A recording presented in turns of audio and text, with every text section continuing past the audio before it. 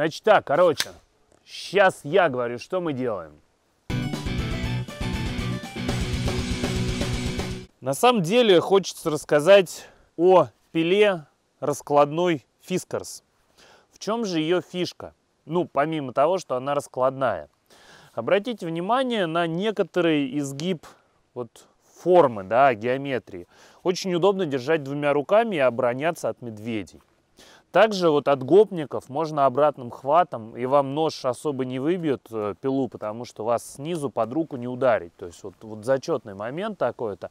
На самом деле, реально, если подбросить в сторону шутки, то она очень похожа на орудие, которым в случае каких-либо, не дай бог, неприятностей вполне можно обороняться. Ну, как, по крайней мере, от, не от медведя, конечно, это бред, но от волка или от какого-нибудь шакала, ну, я бы не постеснялся бы этой штукой обороняться. Да и от каких-нибудь, мало ли, прижмет, бывают всякие люди, встречаются в дороге. Как вариант, можно, можно. Но перейдем к утилитарным, сугубо утилитарным функциям этого предмета. Это пила. Пила, причем достаточно неплохая. А, по дереву она, естественно. Она со скругленным кончиком, чтобы нельзя было как-нибудь уколоться, повредиться. Зубчик э, очень классно пилит и в руке сидит удобно. Ну и вообще это фискаревая пила, которая с пластиком фискарем, насколько я знаю, никогда ни при каких условиях проблем не бывает.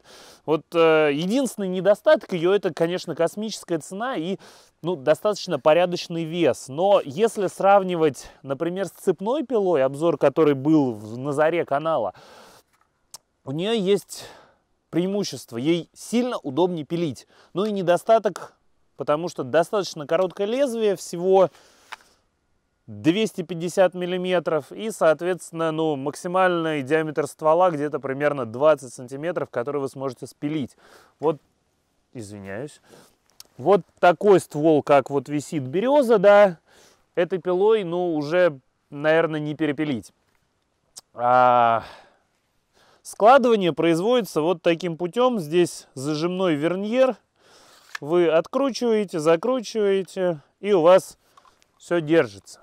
При этом, когда в сложном состоянии вы складываете пилу, у вас здесь крючок, чтобы можно было повесить и не потерять. Удобно. Когда вы ее открываете, соответственно, этот крючок уходит внутрь ручки, и он защищен от всяких травм при пилении. Давайте теперь я покажу, как ей, насколько хорошо она пилит. Это вот упавшая береза, пилить живую, естественно, нет никакого смысла для видео. Сейчас я продемонстрирую. Здесь вот такой диаметр ствола, ну где-то сантиметров 10. Давайте посмотрим, насколько быстро я его перепилю. Сейчас я даже по секундомеру.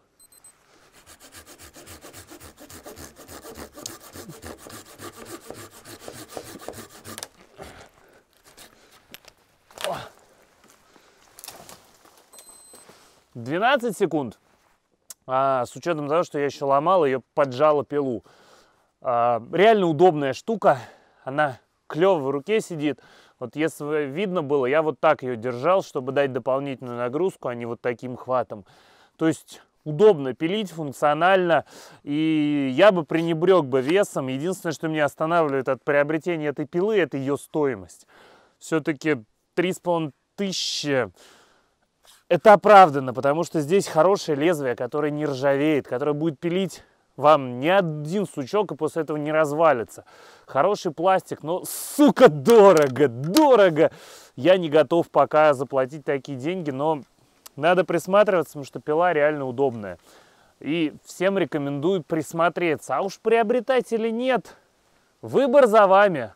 Прям такие эпичные листья падают. Выбор за вами, дети мои! Ну, как-то так. Мало падает, надо больше. Надо было еще Борю попросить сверху листьев покидать, грязи там. Я думаю, с удовольствием это сделал бы. Ладно, все. Я Алексей, подписывайтесь на канал, рассказывайте друзьям, ставьте лайки. Расскажите, пользуетесь ли вы каким-нибудь из пил. Цепной, струнной, складной, может вообще двухручную с собой носите. Это будет забавно. Я Алексей, бай!